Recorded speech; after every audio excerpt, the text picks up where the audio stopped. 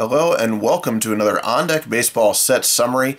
Today we're going to be talking about the latest and possibly greatest uh, On Deck Baseball Batter Up League Expansion set. This will be League Expansion 4. Now before we get and dive into this set, if you could hit that thumbs up, leave a comment below possibly on some kind of set that you might like in the future, or any comments about the fictional baseball game or on deck baseball in general. So what we have in front of you here is our newest box. This box is going to help me kind of consolidate the sets down. Um, it is a generic front with on-deck baseball batter up, so every batter up set that you'll see once I run out of the other boxes will come in this box. On the reverse side, on the back of it, we'll have the different logos for the different expansion sets. We're going to be talking about League Expansion 4 here. Uh, if it was any of the other sets, they would be marked off. Then on the side, of course, we do have our season selection.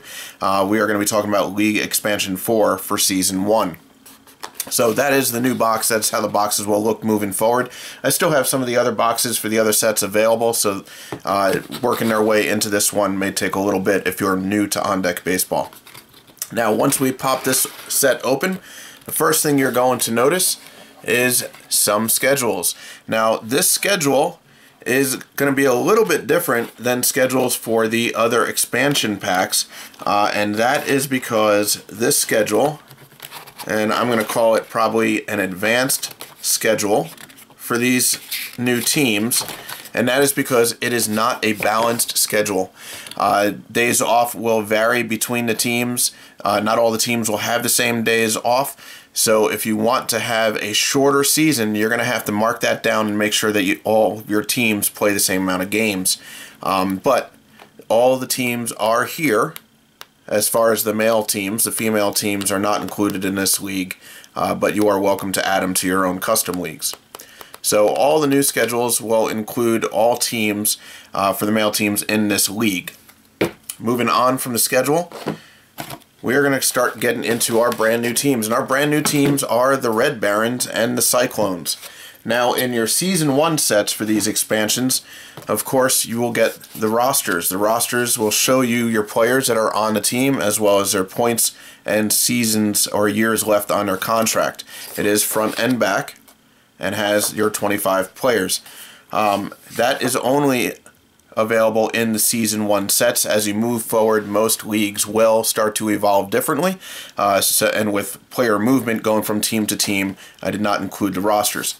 However, you will still get your uh, record keeper here. So this is for the Red Barons. It has wins and losses. You just mark off whenever you get a win or a loss.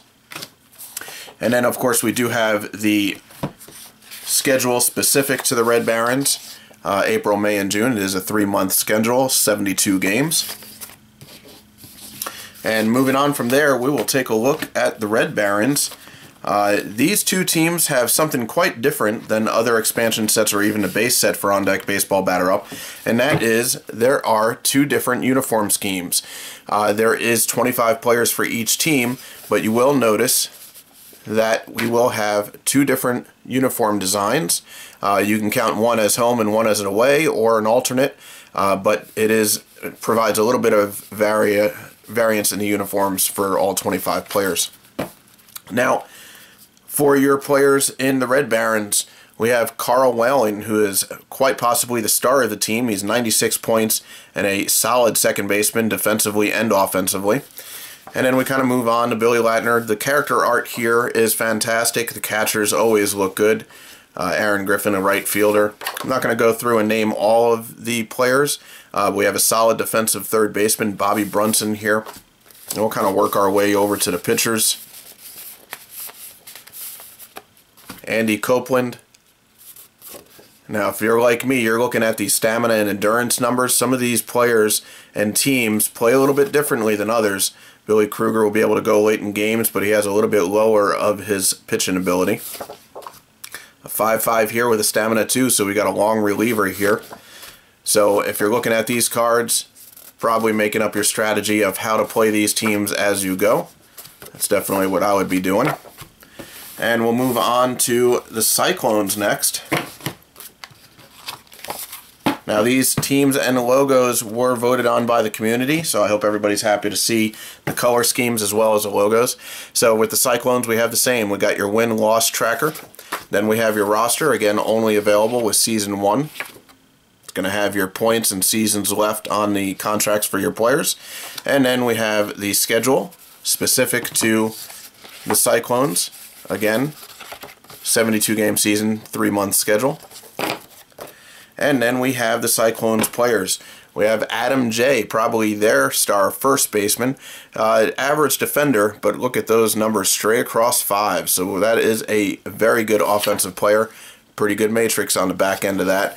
Uh, may be fighting Mark Haggerty for some MVP credentials. Not sure how that would play out in your league, uh, but certainly does play out in, uh, in leagues that I've had.